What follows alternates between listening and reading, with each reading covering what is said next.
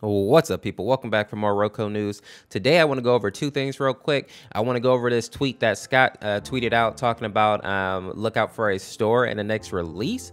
Uh, so I want to show you that, and I also want to show you a couple of skins that got leaked. So let's go ahead and let's jump right into it. So here's the tweet that Scott tweeted out seven hours ago now.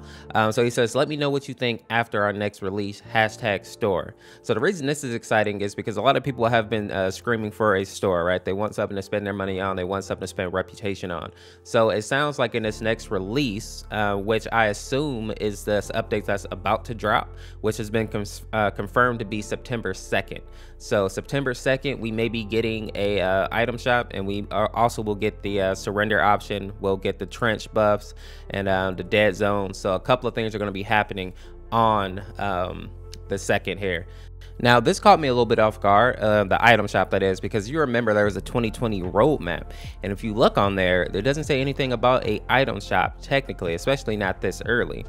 Um, because if it goes by what Scott is saying, that means in phase one, technically, we would have a store.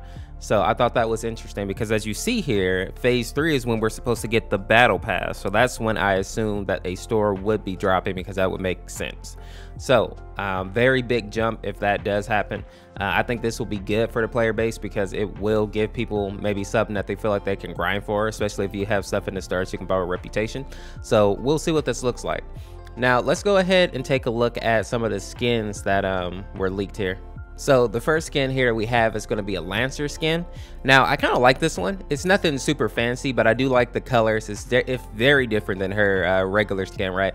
Kind of looks like a, a, marathon runner's outfit, like she's uh, been sponsored because you see a couple of logos and stuff on there. Um, I think that's interesting and it kind of plays into her lore, right? She's supposed to be like this runner slash uh, social media star, so it makes sense that she's kind of been sponsored by whoever this is, right? That she has this whole outfit going on. Um, so I like that. Uh, again, I, and we'll probably talk about this at the end, but I wonder about how you can buy this skin right here. Because is this a skin that you would drop money on, or is this a skin that you would probably drop reputation on? And that's the thing that I'm curious about. How willing are people going to be to spend money on a skin like this? But in any case, let's go ahead and take a look at the next one here which is going to be a Scorch skin. This is going to be one of two. I have one more to show you. This one right here doesn't look too crazy, right? It's it's very similar to her original skin, maybe a couple of extra straps or something. I can't even tell. But it doesn't look anything crazy. This would be definitely like a reputation skin. I'm not sure I would spend I don't know, two bucks. You know, I don't I don't think I would spend big money on a skin like this, but if this is like a battle pass skin or a reputation skin, I definitely pick it up. You know, not bad. And they also made a note here to say that the the hair will be different, so I want to see what that looks like. Hopefully she has a skin where like her hair is actually on fire. I think that'd be dope. Uh, let's look at the other one. It's a little, this the second one's a little more in depth and it look like they went into a little more detail. Uh, let's see if you like this one. So this one right here is unfinished, but you can tell that they are at least changing the way that Scorch looks. So you can tell that she has like this cyborg robotic look and she's gonna have like some type of crown on her head. And I like this one more than that other one simply because it looks very different than a regular Scorch, right? I would be curious to see what this looks like fully done though, because apparently this isn't the finished product. I would have been somewhat satisfied with this if they would have like obviously dropped the crown down and then like flesh this skin out a little bit because that that doesn't look terrible right? That that's, that's very different than a normal Scorch skin so i kind of like that. Um, hopefully they have more skins like this that like completely revamp or change the way a character looks kind of like how the the Dima skin puts like the wolf mask and the suit on and you don't even know that it's him anymore really so i like this um, i'm i'm gonna be curious to see what they what they do with it final because apparently this isn't finished so i'm curious to know what that's gonna look like uh, next up here we have a trench skin let's go ahead and look at this this trench skin is interesting because it looks very casual. This is like a dude you see in like the Portland Mall. You know what I'm saying? Like looks very, very domestic. I don't know. It's just, it's just.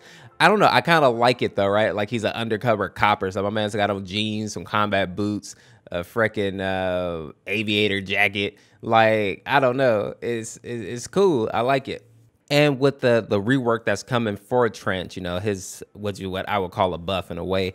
I think that this skin, especially if it's not like uh the, the price isn't gouged out, right? I think a lot of people will probably buy this skin, especially those those trench mains or people who are going to find trench actually useful now. So perfect timing to give trench uh, some some skins and whatnot because I think it's going to work out for him pretty well. Um, now the last one we have here is going to be a Dallas skin, and I think this one is interesting. Let's take a look. Now, the thing about this skin is that it looks pretty cool. Like I like the, the, the dark colors. I like that red, that black, but it's just basically a darker version of his main skin, like his standard skin. So I hope they come out with some skins that are gonna do Dallas justice, right?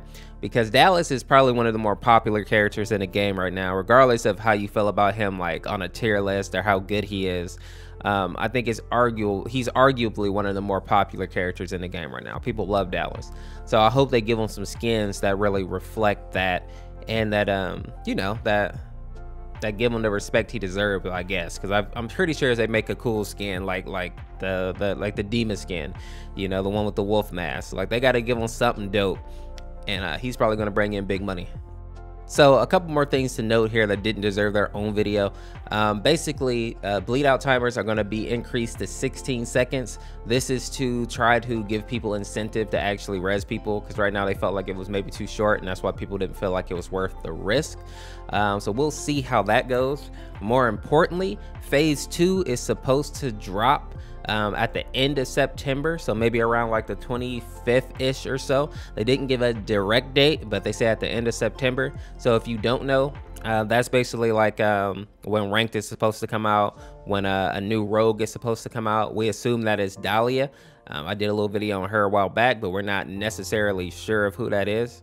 Um, and a couple more things are supposed to be coming with that as well. So for those people who are looking for when the updates are coming more solidly, uh, we definitely have about a month before we get a, a major update.